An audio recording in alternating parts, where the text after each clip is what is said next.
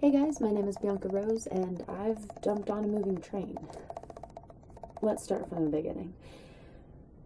we're at a friend's house in Brazil and we're just visiting, yada yada. We got our train tickets, it's kind of down the road a little bit, um, and we're waiting for it to be time to go.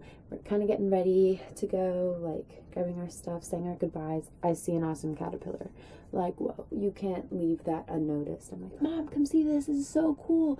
It's a caterpillar. And so she's up there, like, taking pictures. We're all like, oh my gosh, is it poisonous? Like, it's really fluffy and it's got the two little spike things coming out of the back. And it's looking really cool. She's taking pictures, like, whoa. And then we hear the whistle of the train. it's starting to leave.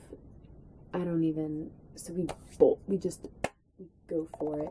We're running down the hill, down the driveway, street thing, I don't even know what you call it. We cross the train track and we're running this way, the train's coming this way, and we're all just like, we have to turn around and go. And the train's like just starting, it's like going.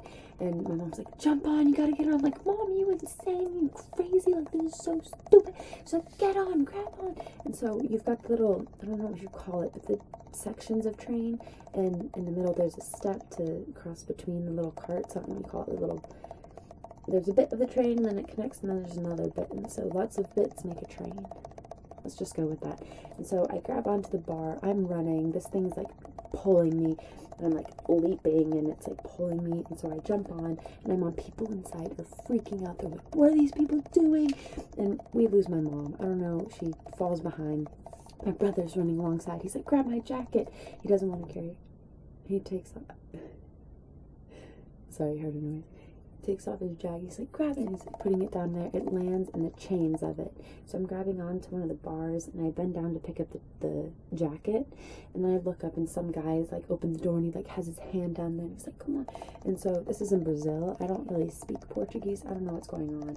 So he helps me in my brother ends up jumping on and so we're together and sitting down and people are like freaking out and like talking to us in portuguese my mom comes in from a different train like this train stops at this point like someone notified the captain and the entire train it's stopped by this time so um, it slowed down for my brother to be able to get on by that time.